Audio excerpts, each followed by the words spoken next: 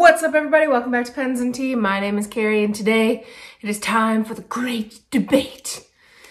Cartridges versus converters! Dun, dun, dun. I don't know if that music is copyrighted. Uh, so cartridges versus converter.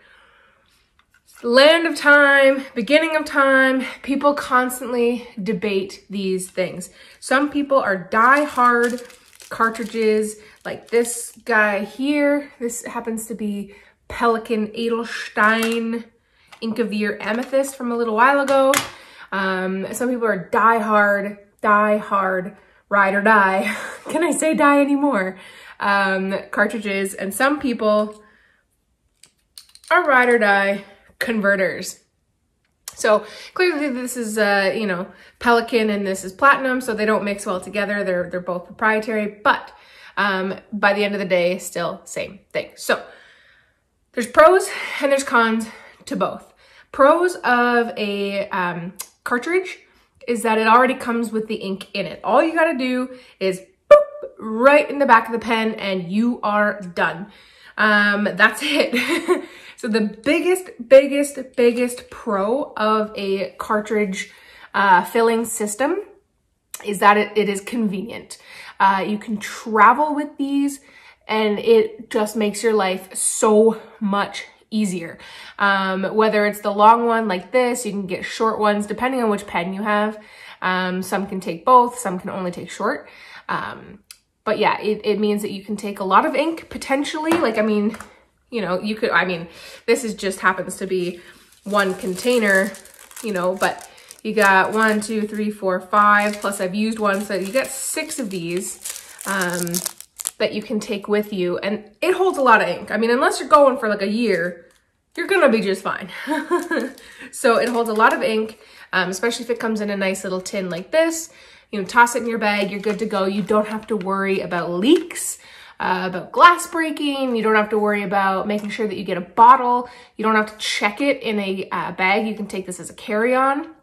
So even if you have a plastic bottle, this, the smallest plastic bottle I can think of is 30 milliliters. I think, I know you can get a 15, but it's not in plastic, it's in glass. So then you have the breaking issue again so you don't have to worry about it. They're very airport friendly. Um, I have traveled with many, many of them in my carry-on before um, across the world. So many different airports uh, from you know North America, Asia, Europe, doesn't matter. I've never had any problems with them. So that is, is good there. Uh, downside to these is they are more expensive than bottled ink. So clearly, if you look at a, a cost of a bottle, you know, you're looking anywhere between $7 to a hundred plus, depending on what kind of ink it is. Um, so bottles can be expensive, but these per milliliter end up being more expensive than bottled. Um, so if you're going through these a lot, then uh, it, it does technically cost you more money, even though if you're just buying a couple, um, then, you know, you do save money by comparison to the bottle. So it depends on, on how many you're going to go through. Um, if you really only have one fountain pen uh, and you're just kind of getting into the hobby, then maybe, you know, picking up something like this might be good for you because then you don't have to worry about um, the things that come along with bottles, which we'll talk about. Um, so that's definitely that uh, there as well. Um, with cartridges, or sorry, converters in a pen like this, which is the Platinum 3776, uh, benefits to the converter is that you can use whatever ink you want. Um, I mean, technically you could use even like India ink or something like that, but don't do it, it'll ruin your pen. Um, you can use whatever ink you want. So you can switch between inks to your heart's content and you only have to have one um, adapter here, kind of, or not adapter, um, converter. It cleans out, you can refill it with a different color uh, and, you know, be on your way. So you don't have to carry, you know, additional ink with you. Um, if you're at home or you're just like going to the office kind of thing, um, then you can have loads of different inks. Um, I like to use samples a lot more than actual bottled ink because I tend to change the colors a lot um, and I like to constantly experiment with ink. Um, so for me, a cartridge uh, doesn't really work that well for that because you have to buy at least five or six of them. Um, whereas I prefer to get like, you know, two to four milliliter samples um, and have them in a converter so that I can do whatever I want, basically.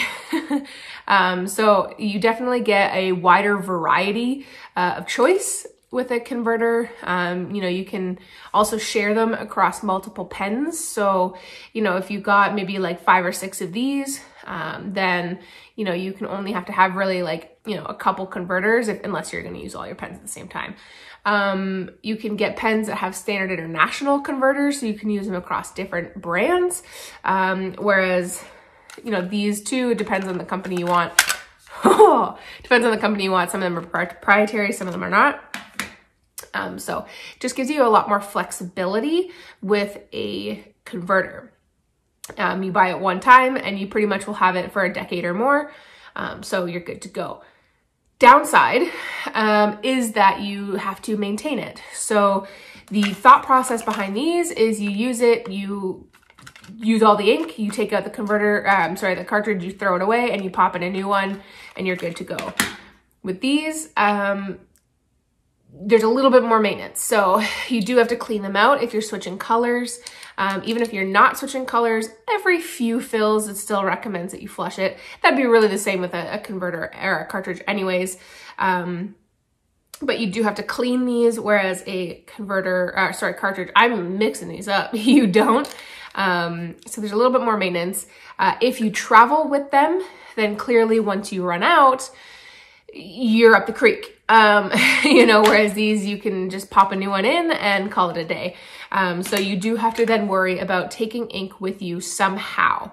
So be that a bottle, be that little vials, whatever it is, traveling inkwell, you have to find a way to bring ink with you. Um, so I personally prefer uh, cartridge converters, which is what this is. Um, in a day-to-day scenario. Pretty much 99% of the time I use a fountain pen, I'm using a cartridge converter. When I travel though, I do switch to these. Um, so I don't really use these very much at all. Um, but when I travel, I do bring cartridge, uh, cartridges and I don't bring a converter. Sometimes I'll bring a converter that's filled with ink and then once I'm done it, I just pack it away and switch over to these um, because I don't like bringing ink with me in the traditional sense of like either a bottle or a vial or traveling inkwell or whatever. I much prefer just the like tidy packaging of this, especially because I never ever check a bag. I only ever bring a backpack wherever I'm going, regardless of where or how long. So that's what the way that I use it. I think, and you can correct me if I'm wrong in the comment section below, I think that's the way most people tend to use them. Um, I know when I first, first, first got into fountain pens, uh, I stuck with cartridges for a little bit. By a little bit, I mean like a month. um, just because I didn't want to invest in a whole bottle. These are a cute way to, to test out an ink if you don't want to invest in a whole bottle and for whatever reason you can't get a sample of it um, so, I mean, I can think of some Montblanc ink. Some retailers don't give you samples of Montblanc ink, um, but they do then sell cartridges. So take your pick, uh, do your research. But in general, that's why people debate them. Um, I think there's a place in, you know, in time for, for both. Uh, but typically my preference is the cartridge converter. But let me know what yours is uh, down in the comment section below. Are you like me? You pretty much just use cartridge, uh, cartridge converters, but you use um, cartridges every once in a while.